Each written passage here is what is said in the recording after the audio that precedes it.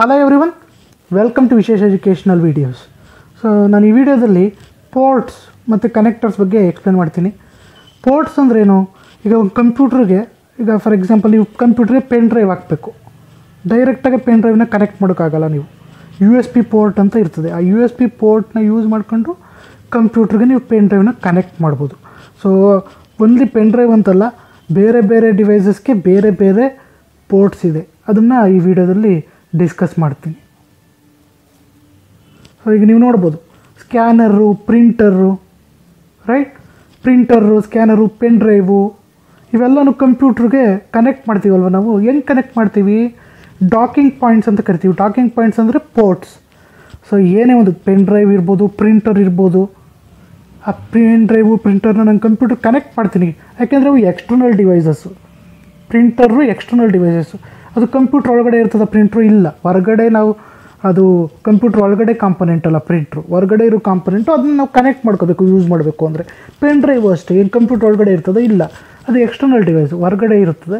ಅದು ನಾವು ಯೂಸ್ ಮಾಡ್ಕೋಬೇಕು ಅಂದರೆ ಕನೆಕ್ಟ್ ಮಾಡ್ಕೋಬೇಕು ಕಂಪ್ಯೂಟ್ರಿಗೆ ಹೆಂಗೆ ಕನೆಕ್ಟ್ ಮಾಡ್ತೀರಿ? ಪೋರ್ಟ್ನ ಯೂಸ್ ಮಾಡಿಕೊಂಡು ಕನೆಕ್ಟ್ ಮಾಡ್ತೀನಿ ಒಂದೊಂದು ಡಿವೈಸಸ್ಗೆ ಒಂದೊಂದು ಥರ ಪೋರ್ಟ್ಸ್ ಇರ್ತದೆ. ಈಗ ಪ್ರಿಂಟ್ರು ಕನೆಕ್ಟ್ ಮಾಡೋಕ್ಕೆ ಬೇರೆ ಪೋರ್ಟು ಪೆನ್ ಡ್ರೈವ್ ಕನೆಕ್ಟ್ ಮಾಡೋಕ್ಕೆ ಬೇರೆ ಪೋರ್ಟು ಆ ಥರ ಬೇರೆ ಬೇರೆ ಪೋರ್ಟ್ಸ್ ಇರ್ತವೆ. ಆ ಪೋರ್ಟ್ಸ್ನ ನಾವು ಡಾಕಿಂಗ್ ಪಾಯಿಂಟ್ಸ್ ಅಂತಲೂ ಕರಿಬೋದು. ನೋಡಿ ಇಲ್ಲಿ it is impossible to use wrong connector for a port ಈಗ ನಾನು ಹೇಳಿದೆ, ಈಗ ಪೆನ್ ಡ್ರೈವ್ಗೆ ಒಂದು ಪೋರ್ಟು ಪ್ರಿಂಟ್ರಿಗೆ ಒಂದು ಪೋರ್ಟ್ ಅಂತ. ಪ್ರಿಂಟ್ರ್ ಪೋರ್ಟಲ್ಲಿ ಪೆನ್ ಡ್ರೈವ್ ಕನೆಕ್ಟ್ ಮಾಡೋಕ್ಕಾಗಲ್ಲ ಪೆನ್ ಡ್ರೈವ್ ಪೋರ್ಟಲ್ಲಿ ಪ್ರಿಂಟ್ರ್ ಕನೆಕ್ಟ್ ಮಾಡೋಕ್ಕಾಗಲ್ಲ ಆಯಿತಾ? ನೋಡೋಣ, ಈಗ ಯಾವ್ಯಾವ ಥರ ಪೋರ್ಟ್ಸು ಕಂಪ್ಯೂಟ್ರಿಗೆ ಸಹ ಕಂಪ್ಯೂಟ್ರಲ್ಲಿ ಇರ್ತವೆ ಅಂತ. ಮೊದಲನೇದಾಗಿ ಯು ಎಸ್ ಪಿ ಪೋರ್ಟ್ ಅದನ್ನ ಯೂನಿವರ್ಸಲ್ ಸೀರಿಯಲ್ ಬಸ್ ಅಂತಲೂ ಕರಿತೀವಿ. ಇದು main U S B port ಯಾಕೆ ಗೊತ್ತಾರಪ್ಪ?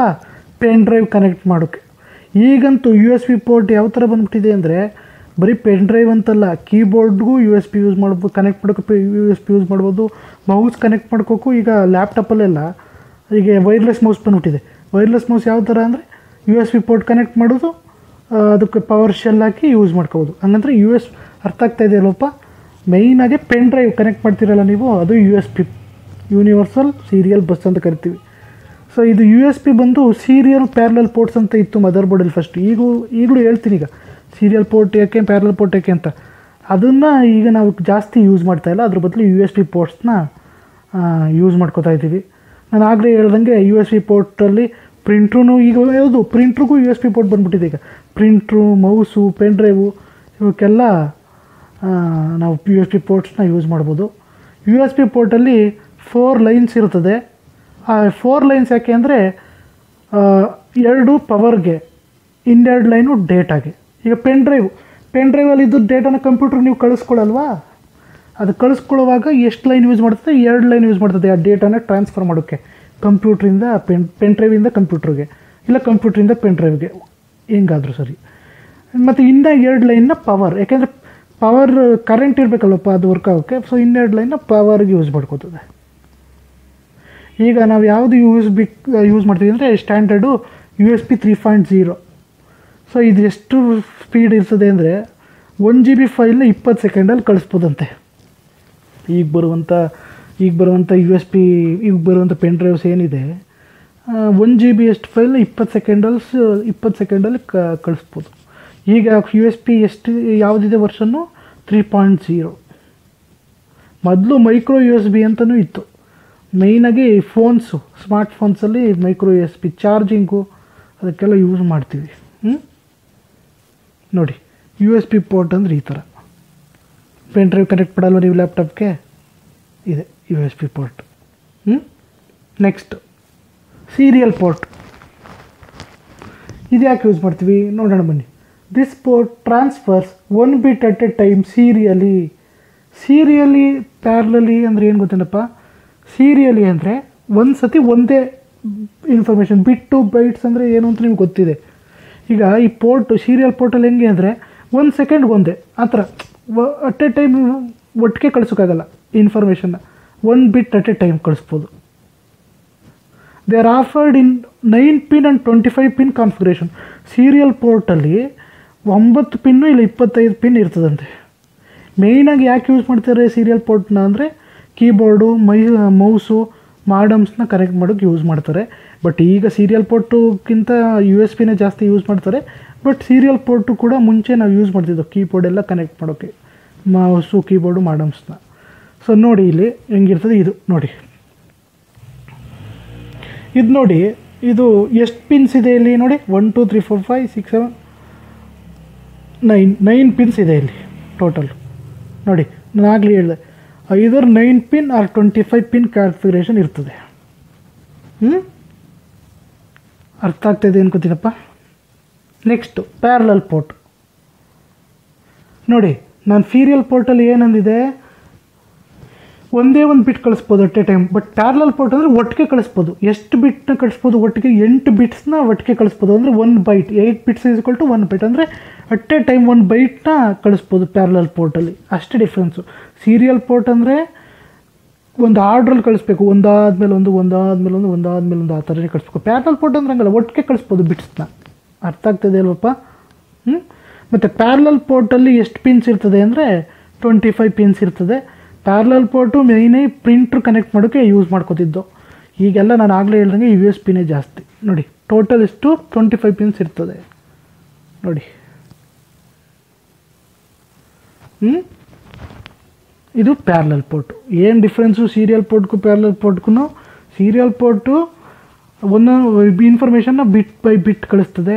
ಪ್ಯಾರಲಲ್ ಪೋರ್ಟಲ್ಲಿ ಒಟ್ಟಿಗೆ ಕಳಿಸ್ಬೋದು ಇನ್ಫಾರ್ಮೇಷನ್ನ ಹ್ಞೂ video graphics array V G A ಅಂತ ಕರಿತೀವಿ. ಯಾಕಿದು?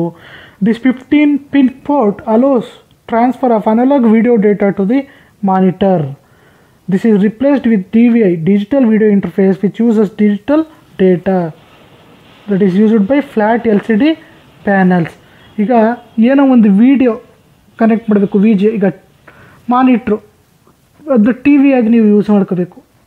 ಆವಾಗ ನಿಮಗೆ ವಿ ಜಿ ಎ ಪೋರ್ಟು ಬೇಕು. ವಿಡಿಯೋ ಡೇಟಾ ಕಳ್ಸೋಕ್ಕೆ ಮೇಯ್ನಾಗಿ ಇದನ್ನ ವಿಡಿಯೋ ಡೇಟಾನ ಮಾನಿಟ್ರಿಗೆ ಕಳ್ಸೋಕ್ಕೆ ಯೂಸ್ ಮಾಡ್ಕೋತೀವಿ. ಸೊ ಇಲ್ಲಿ ನೋಡಿ ಇದು. ಈ ಪೋರ್ಟ್ ಬಂದು ವಿ ಜಿ ಎಫ್ ಪೋರ್ಟ್ ಇದು. ವಿಡಿಯೋ ಗ್ರಾಫಿಕ್ಸ್ ಅರೆ ಇದು ಎಷ್ಟು ಪಿನ್ ಇರ್ತದೆ? ಫಿಫ್ಟೀನ್ ಪಿನ್ ಪೋರ್ಟ್ ಇದು.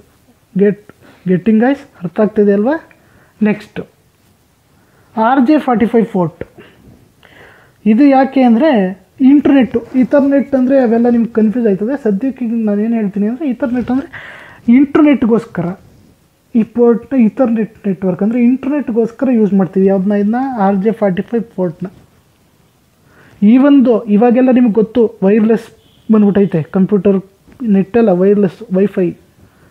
ಆದರೂ ಕೂಡ R J forty five port useful. ಯಾಕೆಂದರೆ ಟೆಲಿಫೋನಿಂದ ನೀವು ನೆಟ್ ಹಾಕಿಸ್ಕೊಂಡ್ರೆ, ಟೆಲಿಫೋನ್ನ ಮಾಡೋ ಥರ ಯೂಸ್ ಮಾಡಿ ನೆಟ್ ಹಾಕಿಸ್ಕೊಂಡ್ರೆ, ಅವಾಗ ವೈರ್ಡ್ ಕನೆಕ್ಷನ್ ಬೇಕು. ಆವಾಗ R J forty five port ಬೇಕು. ವೈರ್ಲೆಸ್ಸು ಆಗಲ್ಲ, ಅಲ್ವಾ? ಸೊ ನೋಡಿ, ಇದು. ಇದು ಬಂದು R J forty five port mainly ನೆಟ್ಗೋಸ್ಕರ net internet connect ಮಾಡೋಕ್ಕೋಸ್ಕರ ಇಂಟರ್ನೆಟ್ಗೆ ಕಂಪ್ಯೂಟರ್ ಕನೆಕ್ಟ್ ಮಾಡೋಕ್ಕೋಸ್ಕರ ಈ ಪೋರ್ಟ್ನ ಯೂಸ್ ಮಾಡ್ತೀವಿ. ನೆಟ್ ಹ್ಞೂ next P S two port ಈ ಪೋರ್ಟು ಸೀರಿಯಲ್ ಪೋರ್ಟ್ನ ರಿಪ್ಲೇಸ್ ಮಾಡ್ತು. ಯಾಕೆ? ಸೀರಿಯಲ್ ಪೋರ್ಟ್ ಬದಲು ಪಿ ಎಸ್ ಟು ಪೋರ್ಟ್ಗಳನ್ನ ಇನ್ಕ್ಲೂಡ್ ಮಾಡ್ತಾ ಬಂದರು. It has six pins but occurs is a pair in two different colours ಎರಡು ಕಲರ್ ಕಣಪ್ಪ, ಇದು ಟೂ ಅಂತ ಯಾಕದೆ ಅಂದರೆ, ಈ ಪೋರ್ಟ್ ಎರಡು ಪೋರ್ಟ್ ಇದು. ಒಟ್ಟು ಆರು ಪಿನ್ ಇರ್ತದೆ. ಎರಡಕ್ಕೂ ಆರ್ ಆರ್ ಪಿನ್ನು ಟೂ ಡಿಫ್ರೆಂಟ್ ಕಲರ್ಸ್ ಇರ್ತದೆ. ಯಾವ್ದ್ಯಾವ್ದು ಕಲರ್ ಅಂದರೆ ಪರ್ಪಲ್ ಕಲರಲ್ಲಿ ಒಂದಿರ್ತದೆ ಗ್ರೀನ್ ಕಲರಲ್ಲಿ ಒಂದಿರ್ತದೆ ನೋಡಿ ಇಲ್ಲಿ. ಇದೆ. ಪರ್ಪಲ್ ಕಲರಲ್ಲಿ ಒಂದೈತೆ, ಗ್ರೀನ್ ಕಲರಲ್ಲಿ ಒಂದೈತೆ. ಇಲ್ಲಿ ನೋಡಿ ಮೌಸ್ ಕನೆಕ್ಟ್ ಒಂದನ್ನ ಮೌಸ್ ಕನೆಕ್ಟ್ ಮಾಡೋಕ್ಕೆ ಒಂದನ್ನ ಕೀಬೋರ್ಡ್ ಕನೆಕ್ಟ್ ಮಾಡೋಕ್ಕೆ ಯಾವುದ್ಯಾವುದನ್ನ ಅಂತ ನೋಡ್ಕೊಳ್ಳಿ. ಕೀಬೋರ್ಡ್ ಇದ್ದರೆ ಪರ್ಪಲ್ ಕಲರ್ ಹಾಕಬೇಕು ಮೌಸ್ ಇದ್ದರೆ ಗ್ರೀನ್ ಕಲರ್ ಹಾಕಬೇಕು. ಕೀಬೋರ್ಡ್ ಇದ್ದರೆ ಪರ್ಪಲ್ಲು ಪರ್ಪಲ್ಲು ಮೌಸ್ ಇದ್ದರೆ ಗ್ರೀನ್ ಕಲರ್ ಈಗ ಹಳೆ ಕಂಪ್ಯೂಟರ್ಗಳಲ್ಲಿ ಇದೇ ಇದ್ದದ್ದು, ಇದೇ ಪೋರ್ಟ್ಸ್ನ ಯೂಸ್ ಮಾಡಿರೋದು ಈವನ್ ಟುಡೇ ನಾನು ಯೂಸ್ ಮಾಡ್ತಾ ಇರೋ ಕಂಪ್ಯೂಟರಲ್ಲಿ ಈ ಪೋರ್ಟ್ಸ್ ಇದೆ. ಕೀಬೋರ್ಡ್ ಕನೆಕ್ಟ್ ಮಾಡೋದು. ಈಗಲೂ ಕೂಡ ನಾನು ಇದೇ ಪೋರ್ಟ್ಸಲ್ಲೇ ಮೌಸು ಕೀಬೋರ್ಡ್ನ ಕನೆಕ್ಟ್ ಮಾಡಿರೋದು. ಸೊ ಇದು ಕೂಡ ಈಗ ರಿಪ್ಲೇಸ್ ಆಗಿಬಿಟ್ಟಿದೆ. ಇದು ಕೂಡ ಈಗ ಯು ಎಸ್ ಪಿ ಬಂದ್ಬಿಟ್ಟಿದೆ ಇದಕ್ಕೂ ಕೂಡ. ಹ್ಞೂ ಈಗ ತುಂಬ ಕಮ್ಮಿ ಆಗಿಬಿಟ್ಟಿದೆ ಇದು ಪಿ ಎಸ್ ಟು ಪೋರ್ಟ್ಸ್ ಹ್ಞೂ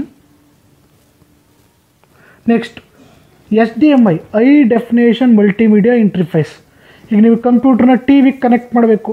ಇಲ್ಲ ಕಂಪ್ಯೂಟರ್ಗೆ ಪ್ರಾಜೆಕ್ಟ್ ಹಾಕಬೇಕು. ಆವಾಗ ಈ S D M I port ಬೇಕು. This is used for transferring audio and video between computers and H T T ವಿಸ್ ನಾನು ಹೇಳಿದ್ನಲ್ಲ ಕಂಪ್ಯೂಟರ್ ಮತ್ತು ಟಿ ವಿ ಕನೆಕ್ಟ್ ಮಾಡಬೇಕು ಆಡಿಯೋ ಮತ್ತು ವಿಡಿಯೋ ಟ್ರಾನ್ಸ್ಫರ್ ಮಾಡ್ಕೋಬೇಕು. ಆವಾಗ ನಿಮಗೆ H D M I port ಬೇಕು. ಪ್ರಾಜೆಕ್ಟು ಕನೆಕ್ಟ್ ಮಾಡೋಕ್ಕೆ ಇಲ್ಲ ಓಮ್ ಥಿಯೇಟರ್ಸು ಅದಕ್ಕೆಲ್ಲ H D M I port ಬೇಕೇ ಬೇಕು.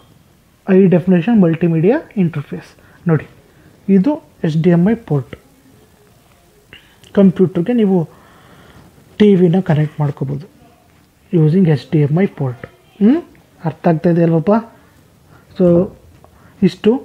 ನಿಮ್ಗೇನಾದರೂ ಡೌಟ್ಸ್ ಇದ್ದರೆ ಕಮೆಂಟ್ ಸೆಕ್ಷನಲ್ಲಿ ಟೈಪ್ ಮಾಡಿ. Thank you thank you for watching the video